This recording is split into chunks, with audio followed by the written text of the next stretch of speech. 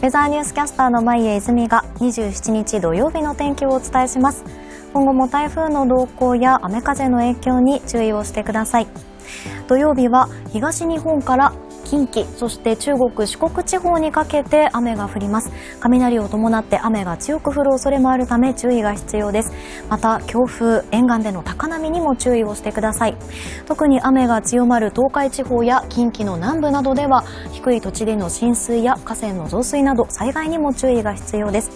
また北海道も引き続き湿った空気の影響で雨の降るところが多く雷を伴う恐れがあります。その他東北地方そして九州でも雲が広がりやすくこちらもにわか雨や雷雨の可能性があるため天気の変化にはご注意ください。引き続き27日土曜日も気温や湿度が高くジメジメムシムシとした体感となりそうですね。体調管理には十分ご注意ください。以上27日土曜日の天気をお伝えしました。